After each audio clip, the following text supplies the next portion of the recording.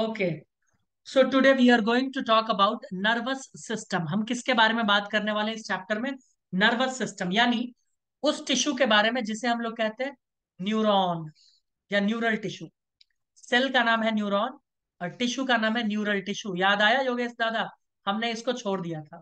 तुम बोलोगे हाँ सर कैसे नहीं याद है? सब कुछ याद है। है ना? वो पुरानी बातें। तो हमने इस टॉपिक को ही छोड़ दिया था न्यूरल टिश्यू में। जब टिश्यू वाला चैप्टर पढ़ते हैं तो हम इसको पूरा छोड़ देते हैं, क्योंकि इसको डिटेल में इस चैप्टर में पढ़ना है। तो एनसीईआरटी का कुछ खतरनाक लाइन जो इस चैप्टर को स्टार्ट करता है, वो ये है। ये जो अंडरलाइन वर्ड है ना, ये सब एनसीईआरटी है।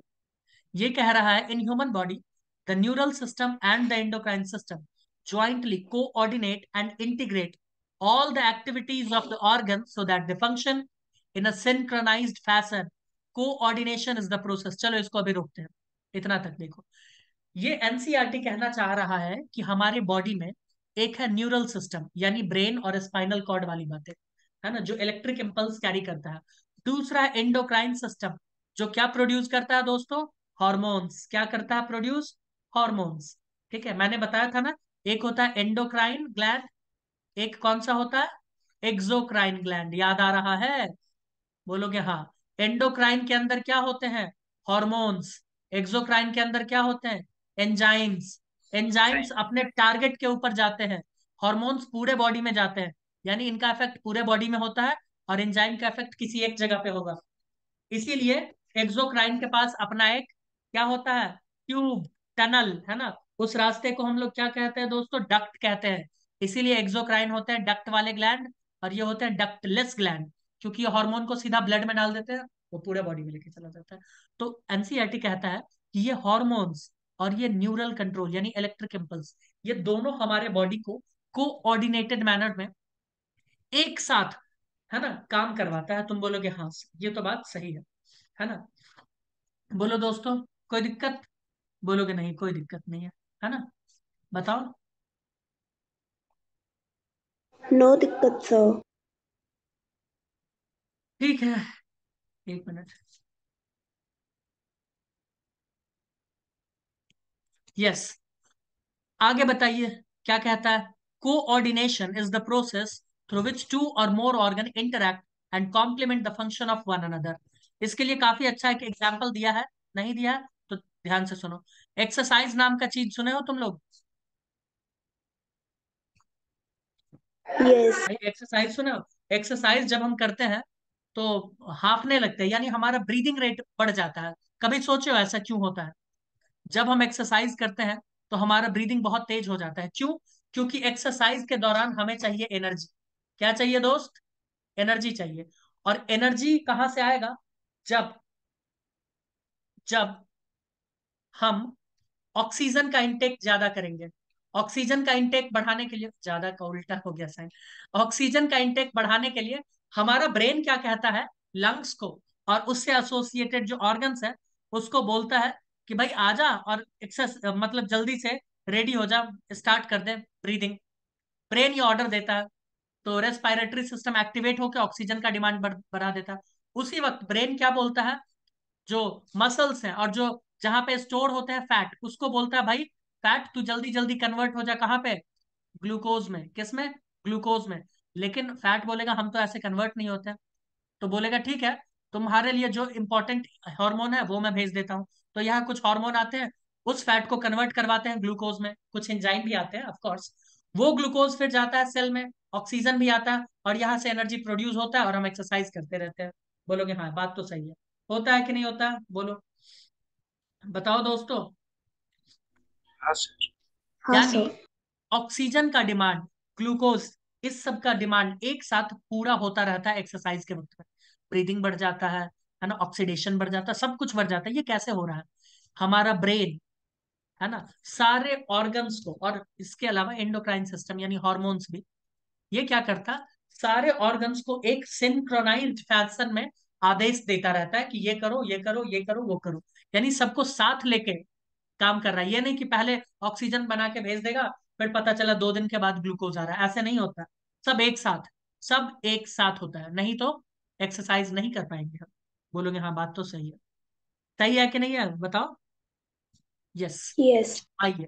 The neural system provide an organise network of point to point connection for a quick coordination the endocrine system provide chemical integration through hormones मैं बार बार बोल रहा हूँ हमारे बॉडी में कोऑर्डिनेशन कोऑर्डिनेशन मतलब होता है।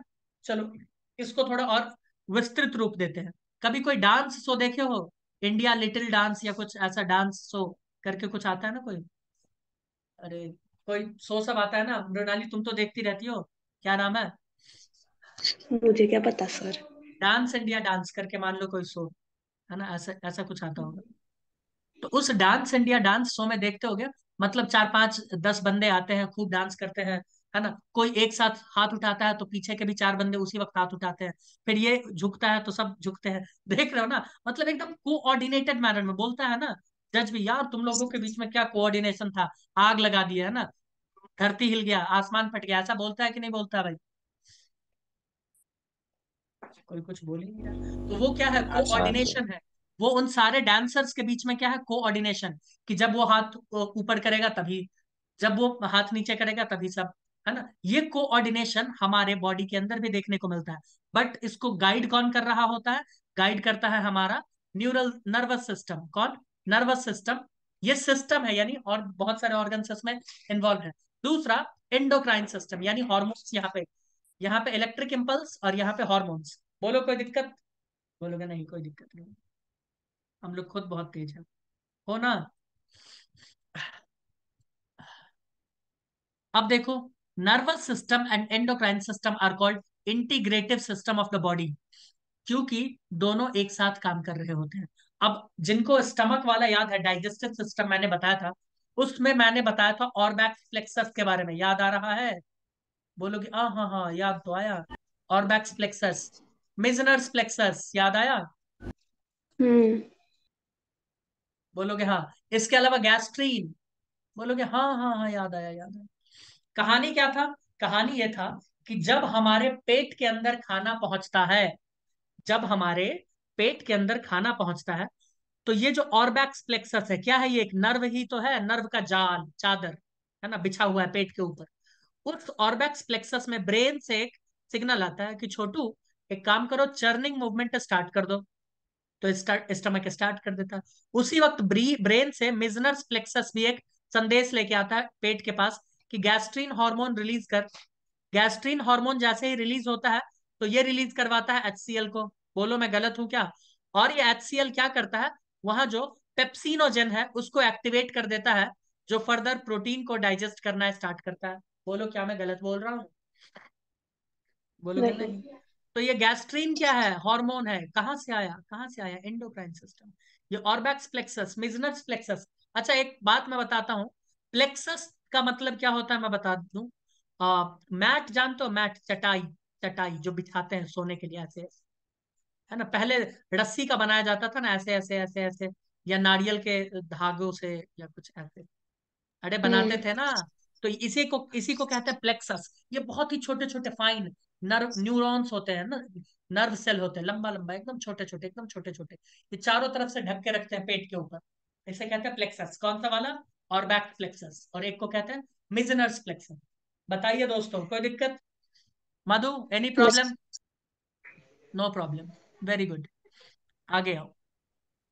Nervous system carries information in the form of impulses to the different parts of the body high speed services are offered by the system okay मैं ये बोल रहा हूँ नर्वस सिस्टम जो है ना हमारा ये बहुत ही क्विक इम्पल्स को कैरी करता है। यानी अगर हमारे हाथ तक कोई इंफॉर्मेशन पहुंचाना ब्रेन से तो वो पलक झपकते ही पहुँच जाएगा। हाँ हॉर्मोन्स के थ्रू अगर आएगा तो उसमें थोड़ा टाइम लगेगा। अगर हॉर्मोन्स के थ्रू आएगा तो उसमें थोड़ा टाइम लग जाएगा। बोलो कोई दिक्कत? नहीं सर चलो आगे बढ़े। बोलोगे हाँ सर बढ़ जाइए आगे बढ़िए। अब न्यूरल सिस्टम के बारे में बताया गया है न्यूरल सिस्टम क्या है, कैसे है? तो देख लो न्यूरल सिस्टम क्या है। सिस्टम जब भी आता है ना मतलब यानी एक, दो ऑर्गन्स उसमें एसोसिएटेड होते हैं। देखो the neural system of all animals is compose of किस किस चीज़ के बना होता है? ध्यान से सुनो। हाईली स्पेशलाइज सेल जिसे क्या कहते हैं? न्यूरॉन जानते ही हो न्यूरॉन ही वो सेल है जो इलेक्ट्रिक इंपल्स को कैरी करता है। बोलोगे हाँ सर बॉडी में हमारे अलग अलग तरह के सेल्स हैं। कार्डियक सेल्स हैं, दिल वाले सेल है लीवर वाले सेल है स्किन में जो सेल है, नाखून में सेल है, वैसे ही हमारे नर्व में भी सेल है। उस सेल का क्या नाम है? न्यूरॉन ठीक है? Which can detect receive and transmit different kind of stimuli stimuli मतलब होता है चेंज स्ट्यूमलाई मतलब क्या होता है? चेंज है ना? हमारे आसपास के एनवायरमेंट में जो चेंज होता है, उसे स्ट्यूमलाई कहते हैं, जो हमारा बॉडी या तो केमिकल फॉर्म में या इलेक्ट्रिक फॉर्म में रिसीव करके ट्रांसफ़र कर देता है। बोलोगे ठीक। ओके। अब इलेक्ट्रिक फॉर्म में रहता है तो इनके बीच में पोटेंशियल डिफरेंस भी होता है। बहुत कम होता है बताएँगे। आगे। The neural organisation is very simple in lower invertebrates for example in hydra it is compose of network of neurons hydra क्या होता है दोस्त? हाइड्रा एक एनिमल है। हाइड्रा क्या है? एनिमल है ना? एनिमल है। याद आ रहा है? बोलोगे हाँ याद आ रहा है। हम्म। किसमें था? सिलेंट्राटा हाँ में था। है ना? बोलोगे यस यस अच्छा सॉरी तुम लोग तो पढ़े ही नहीं होगी। पढ़े ही नहीं हो तो कहाँ से? यस और नो बोल पाओगे इनवर्टिब्रेट हाँ हाँ ठीक है। इनवर्टिब्रेट तो हम जानते हैं किंगडम एनिमेलिया नाम तो सुने होगे ना? इतना तो सुने होगे ना ये मत बोल देना नहीं सुने। इसमें अलग अलग हाँ फाइलम सर होते हैं। जैसे phylum porifera phylum coelenterata phylum cnidaria है ना? इसके अलावा होता है एस्की हेलमेंथ प्लेटी हेलमेंथ है ना?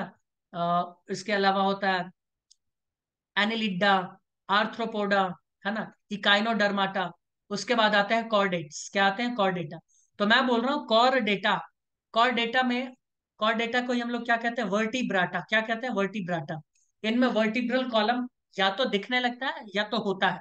ठीक है? और इनसे पहले वाले जितने भी ऑर्गेनिज्म है, उन्हें कहते हैं इनवर्टिब्रेट्स क्या कहते हैं दोस्त? इनवर्टिब्रेट्स इनमें पीछे हड्डी नहीं होता, है ना? तुम बोलोगे अच्छा अच्छा। तो उनमें ये सिंपल फॉर्म में पाए जाते हैं। जब हम किंगडम एनिमेलिया पढ़ेंगे तो हम न्यूरल सिस्टम के बारे में पढ़ेंगे कि न्यूरल सिस्टम का डेवलपमेंट कैसे होता है। मैं तुम्हें बता दूँ ये न्यूरल सिस्टम एक्सक्लूसिवली एनिमल्स में पाए जाते हैं प्लांट्स में नहीं पाए जाते। बताओ कोई दिक्कत? बोलो बोलो। नहीं सर। बोले नहीं। Okay the neural system is better organized इन insect where a brain is present along with a number of ganglia and neural tissue. Actually, insect यहाँ पे लिखना भी गलत है क्योंकि ब्रेन का डेवलपमेंट कहाँ से हो जाता है मैं बता दूँ? गैंग्लिया का। ये हो जाता है प्लेटी हेलमेंथस से। कहाँ से हो जाता है दोस्त? प्लेटी हेलमेंथस नाम तो सुने हो ना?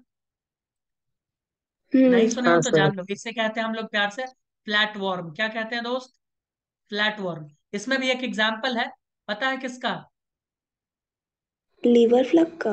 नहीं दूसरा है क्या? ये एग्ज़ाम्पल है ये एग्ज़ाम्पल है किसका? प्लानेरिया प्लानेरिया दैट्स राइट इसे कहते हैं? प्लानेरिया है ना? प्लानेरिया नाम सुने हो? मधुरिमा नाम हाँ। सुने हो तुम? सुने हो? इसे कहते हैं प्लानेरिया प्लानेरिया आता है किंगडम एनिमेलिया के फाइलम प्लाटी हेलमिंथिस में ठीक है? और यहाँ पे गुच्छे यानी ग्रुप ऑफ़ न्यूरॉन्स या साइटॉन्स प्रेजेंट होता है जिसे कहते हैं गैंग्लिया गैंग्लिया के बारे में और भी डिटेल में बताएँगे। क्या कहते हैं? ठीक है कोई बात नहीं अभी सुन लो। तो ये है प्लानेरिया। प्लानेरिया के अंदर पाया जाता है यानी ब्रेन का डेवलपमेंट ब्रेन का विकास अगर तुमसे पूछे नीट में कि भैया ब्रेन का विकास कहाँ से हुआ है तो बोलोगे प्लेटी हेलमिंथिस कहाँ से? प्लेटी हेलमिंथिस बोलो कोई तकलीफ़? अरे नहीं सर। ठीक। Okay. The vertebrates have more developed neural system. ये बात सही है। जो वर्टिब्रेट्स होते हैं, उनमें न्यूरल सिस्टम बहुत ही ज़्यादा डेवलप्ड होता है। हमने बोला, ठीक, बहुत अच्छी बात।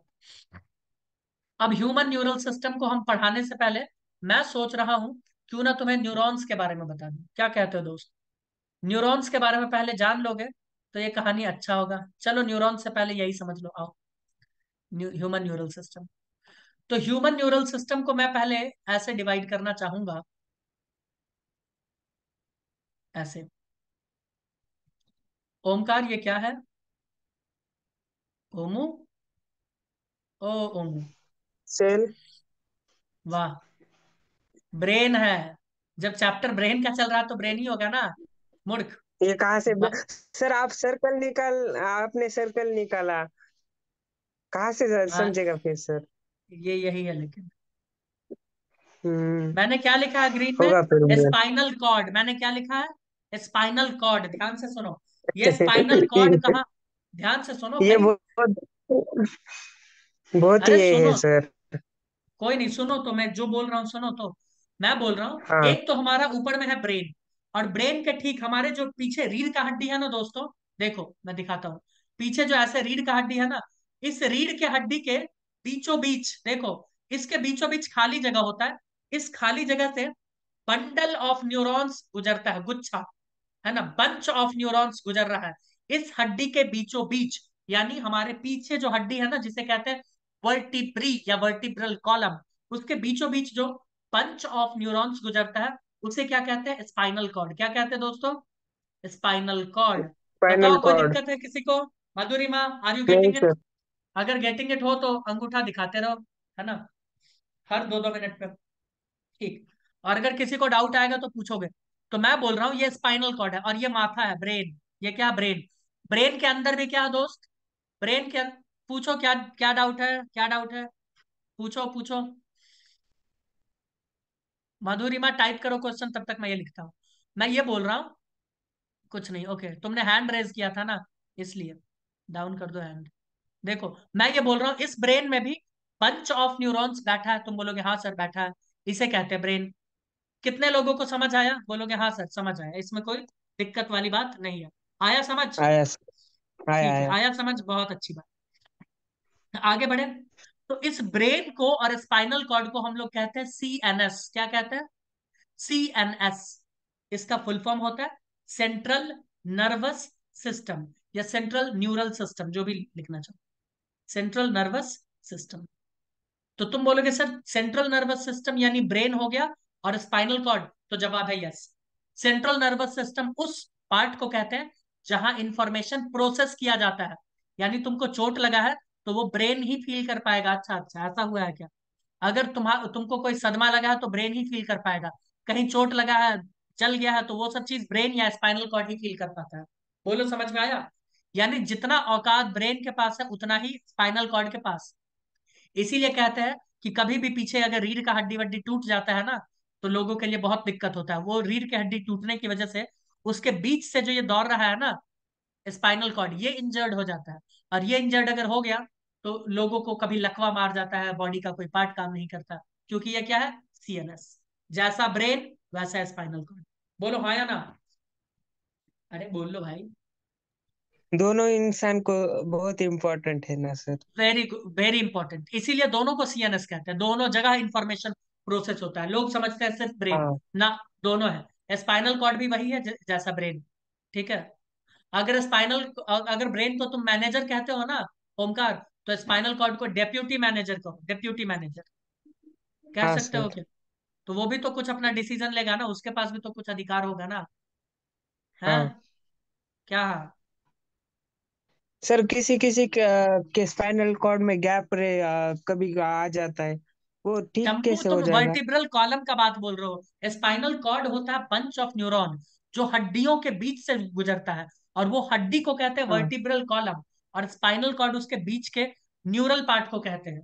लोग हमेशा क्या करते हैं ना हाँ मैं बताता हूँ। हमेशा लोग क्या करते हैं पीछे चोट लगता है ना तो लोग बोलते हैं अरे यार स्पाइनल कॉर्ड में चोट। अरे नहीं मुन्ना वो हड्डी है हड्डी का नाम है वर्टिब्रल कॉलम हड्डी के बीच। अब मुझे एक बात बताओ मेरे सर में चोट लगेगा तो मैं क्या बोलूँगा? मेरे ब्रेन के अंदर जो मतलब मेरे ब्रेन में चोट लग गया ये बोलेंगे नहीं बोलेंगे मेरे हेड में चोट लगा। है ना? वैसे। कोई नहीं बोन वाले चैप्टर में बताएँगे बोन वाले चैप्टर में बताएँगे ध्यान हाँ। से सुनो। अब यहाँ से कुछ कुछ नर्व निकलते हैं ध्यान से सुनो बहुत इंपॉर्टेंट है। सलमान खान को एक बीमारी है जिसे कहते हैं ट्राइजेमिनल न्यूरल्जिया। ठीक है? बताते हैं क्या है वो। तो यहाँ से कुछ नर्व निकल रहा है ध्यान से सुनते जाना। ये नर्व या तो इम्पल्स ब्रेन से दूर लेके जाएगा या ब्रेन के पास लेके आएगा। कुछ भी करे, हमें इससे कोई लेना देना नहीं। वो नर्व जो ब्रेन से डायरेक्टली अटैच्ड है, सुनिए, वो नर्व जो ब्रेन से डायरेक्टली अटैच्ड है, उसे कहते हैं क्रेनियल नर्व। क्या कहते हैं? Cranial nerve. बोलो कोई दिक्कत? बोलोगे नहीं। ये सब क्या है? Cranial nerve. समझ में आया? क्रेनियल नर्व किसे कहते हैं? ये बहुत टफ टॉपिक है, मैं पहले ही बता दूँ, और डिटेल में पढ़ना पड़ेगा, सवाल आता है डिटेल। तो इसे कहते हैं क्रेनियल नर्व। क्रेनियल नर्व, वो नर्व है जो ब्रेन से डायरेक्टली अटैच है। तुम बोलोगे, ठीक। उसके बाद कुछ नर्व होते हैं जो स्पाइनल कॉर्ड से डायरेक्टली अटैच होते हैं। लो, ऐसे। इस नर्व को हम लोग कहते हैं स्पाइनल नर्व। क्या कहते हैं दोस्तों? इसे कहते हैं स्पाइनल नर्व। और ये नर्व बहुत इंपॉर्टेंट है। जब डॉक्टर वॉक्टर बनोगे तब पता चलेगा। ये होते हैं स्पाइनल नर्व। ठीक है? क्रेनियल नर्व का संख्या होता है बारह पेयर कितने होते हैं? ट्वेल्व पेयर एक बारह इधर और बारह इधर। ट्वेल्व पेयर्स में होते हैं। यानी ये बॉडी के हर पार्ट को तो नहीं कुछ कुछ पार्ट को टच करता है डायरेक्टली और स्पाइनल नर्व का संख्या होता है दोस्तों, इकतीस पेयर इकतीस इधर और इकतीस उधर। पेयर में, जोड़े में थर्टी वन इधर और थर्टी वन इधर से निकलता है। बोलो, कोई दिक्कत? अरे बोल लो भाई, कोई दिक्कत है? अब सलमान खान को जो प्रॉब्लम है ना, नहीं सर हाँ सलमान खान को जो प्रॉब्लम है ना थोड़ा सा बस जानकारी के लिए बता देते हैं। ऐसे कोई इच्छा नहीं है मेरा बताने का। उसका नाम है ट्राइजेमिनल न्यूरेल्जिया। नाम सुने हो क्या? ओमकार तुम बोलोगे सर ये नाम तो काफ़ी डरावना है है ना? नहीं सर सुना ना नाम तो काफ़ी ड- डरावना है ना? हाँ। यस हाँ। तो डरावना वरावना कुछ नहीं है। क्रेनियल नर्व जो है ना ये क्रेनियल नर्व। इसमें पांचवा नंबर का जो नर्व होता है ना भाई बारह पेयर है ना एक दो तीन चार पाँच। पांचवा नंबर का जो नर्व है उस नर्व का नाम है ट्राइजेमिनल नर्व। क्या नाम है दोस्त? Trigeminal nerve. और ये नर्व सारी नर्व का नाम रहता है क्या? बिल्कुल बिल्कुल सबका नाम होता है। इसीलिए तो बायो काफ़ी कठिन होता है। ठीक है? सबका नाम होता है। है बट अपने को उतना नाम पढ़ना ही नहीं है। मैं बस ऐसे जनरल जानकारी के लिए बता दे रहा हूँ। बोलोगे नहीं बताने के लिए छोड़ भी देंगे। ठीक है बता दें या छोड़ दें? बता दीजिए सर। सुनो तो पांचवा जो नंबर का नर्व होता है ना मृणाली ये ट्राइजेमिनल नर्व ये हमारे चेहरे को कंट्रोल करता है फेशियल एक्सप्रेशन को रेगुलेट करता है ये वाला। और सलमान खान का चेहरा देखना अभी बिग बॉस या पता नहीं क्या कुछ आ भी रहा तो एक साइड का उसका थोड़ा दिक्कत में दिखेगा है ना ऐसा लगेगा फेस देखना। उसको इस, उसके इसी नर्व में प्रॉब्लम है। इसीलिए इस बीमारी को कहते हैं ट्राइजेमिनल न्यूरेल्जिया उसके क्रेनियल नर्व के पाँच में प्रॉब्लम है। फिफ्थ क्रेनियल नर्व में प्रॉब्लम है। किसमें है? फिफ्थ क्रेनियल नर्व में। बोलो कोई दिक्कत? बोलोगे नहीं कोई दिक्कत। ये फिफ्थ क्रेनियल नर्व ब्रेन से निकलता है और हमारे फेस पे आता है चेहरे को चेहरे के एक्सप्रेशन को कंट्रोल रेगुलेट करता है। अरे समझ में आया थोड़ा बहुत? हाँ सर। तभी बच्चे समझ रहे हैं? बोलोगे हाँ समझ तो रहे हैं। ठीक। आगे बढ़े थोड़ा सा। बढ़ जाए। हाँ। ठीक है। अब मैं कुछ और बताना चाहूँगा।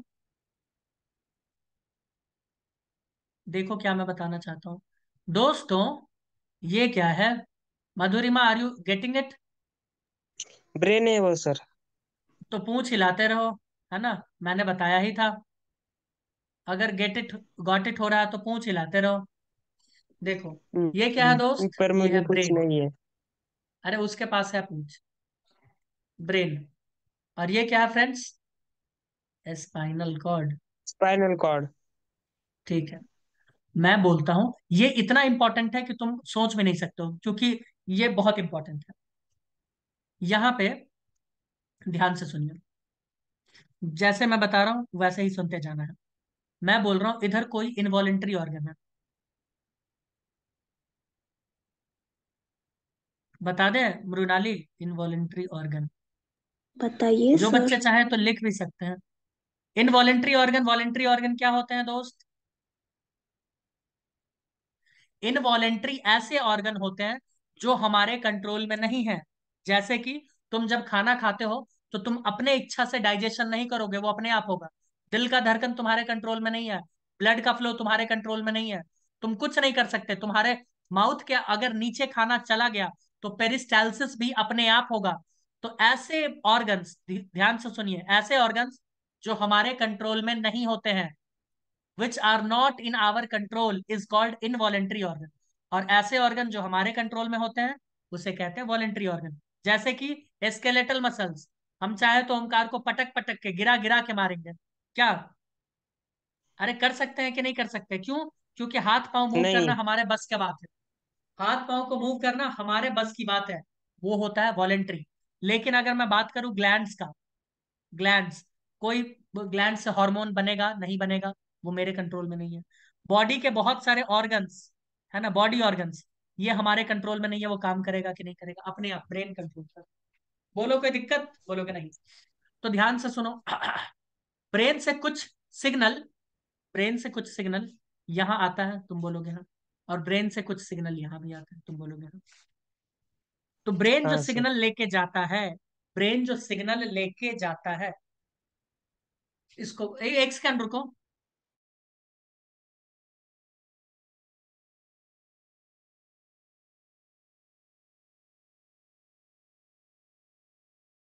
हाँ दोस्तों ध्यान से सुनो। अभी जो ट्रिक बताएँगे ना उस ट्रिक से तुम खेल जाओगे। चाहते हो खेलना चाहते हो? बताओ भाई। अरे यार कोई रिस्पॉन्स नहीं देता मज़ा नहीं आ रहा फिर। हाँ छोड़ दो सर। भाई क्लास चलो क्लास बंद जाओ छुट्टी। ये बताओ तुम इस चैप्टर को पढ़ रहे हो? देखो तुम इस इनवॉलेंट्री ऑर्गन को पढ़ रहे हो या वॉलेंट्री ऑर्गन को पढ़ रहे हो या ब्रेन और स्पाइनल कॉर्ड इस चैप्टर में क्या पढ़ रहे हो? मेन क्या? है मेन ओमू।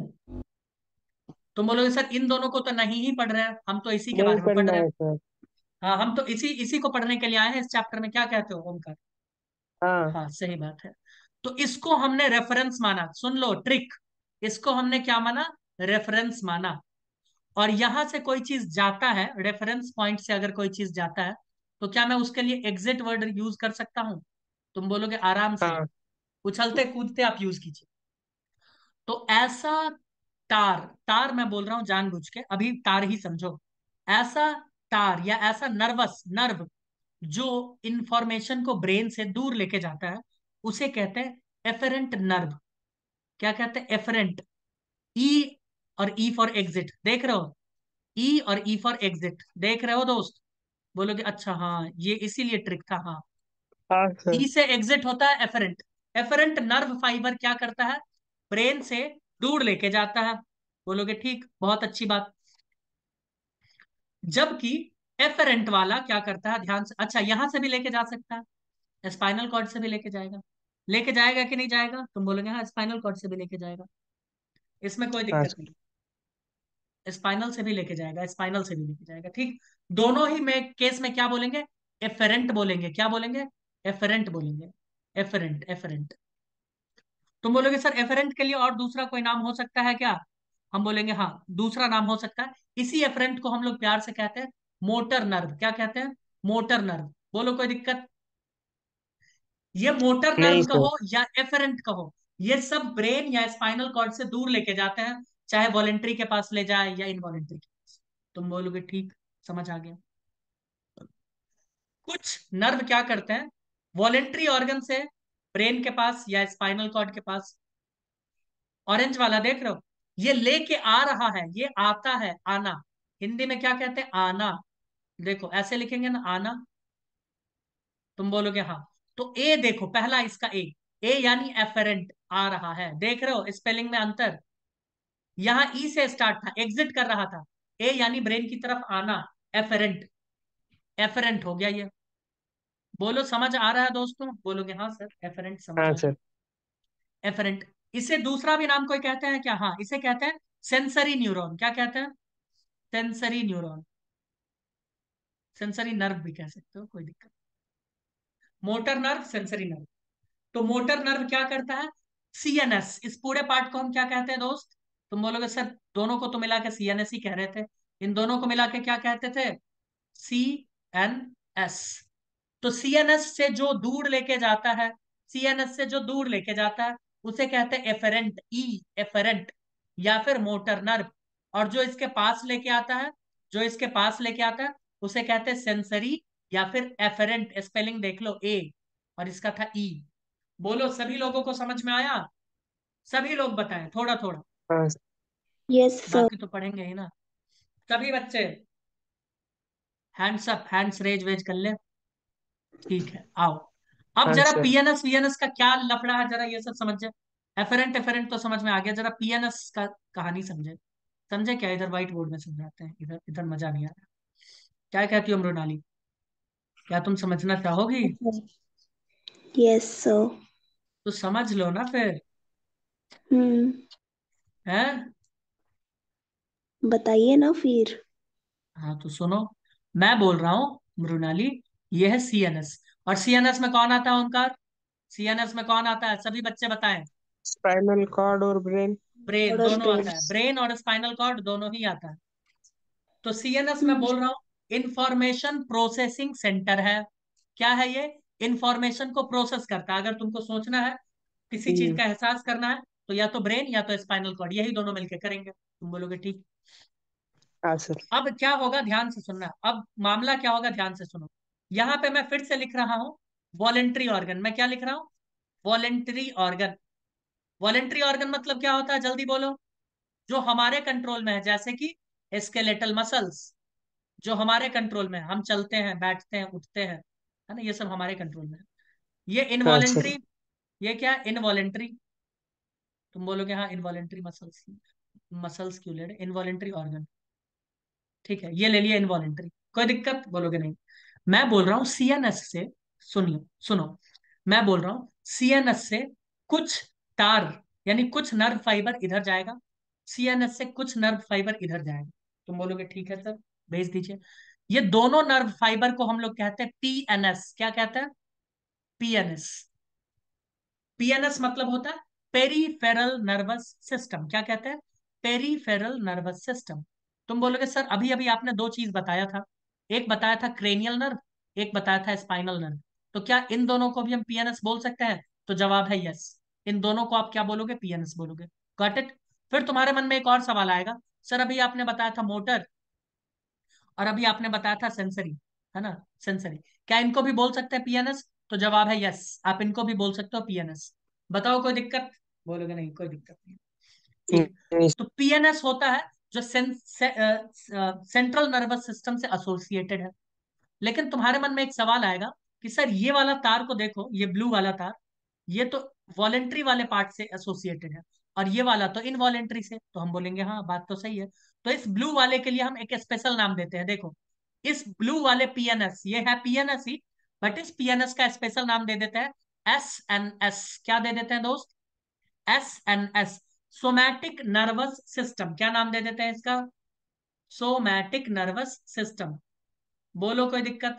तो तुम बोलोगे कि sir somatic nervous system PNS का ही पार्ट है, जो कि वॉलेंट्री ऑर्गन से एसोसिएटेड है। बोलो, समझ आया कि नहीं आया? बोलोगे हाँ समझ आ गया। हाँ सर।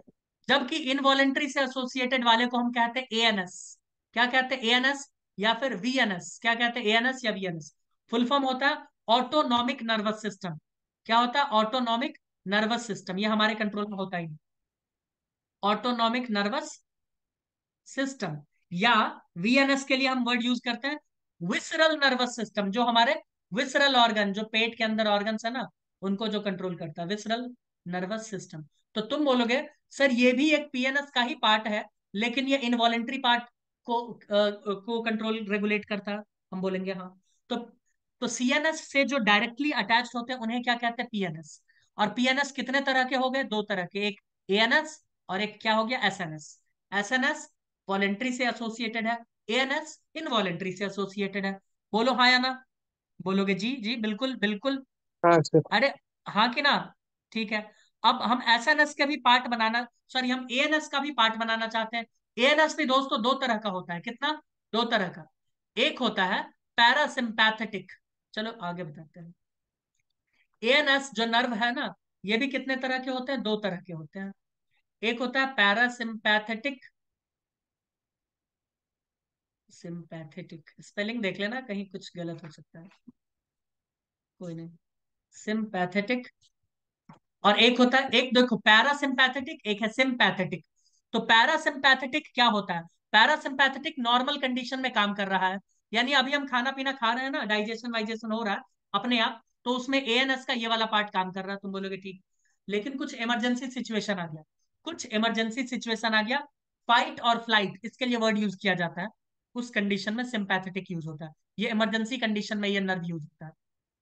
बोलो दोस्तों, थोड़ा बहुत समझ आया क्या? इसके लिए वर्ड यूज़ क्या किया जाता है? फाइट और फ़्लाइट है ना? फाइट और फ़्लाइट लड़ो या मरो? लड़ो या मरो? फाइट और फ़्लाइट फ़्लाइट यानी भागो। भागो या तो लड़ो वहाँ तो इमरजेंसी सिचुएशन जब आता है या तो डर के भाग जाओ वहाँ से या तो लड़ो। तो उस सिचुएशन में ये वाले नर्व काम कर रहे होते हैं मैं फिर से बता दूँ।